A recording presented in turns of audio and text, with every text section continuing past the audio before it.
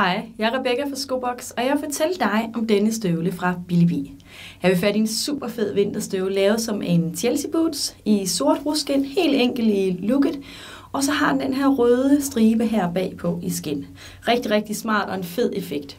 Der er elastik på begge sider, så den er lige til at trække på, og indeni er der dejlig varm lammeuld hele vejen ned, så man kan holde varmen.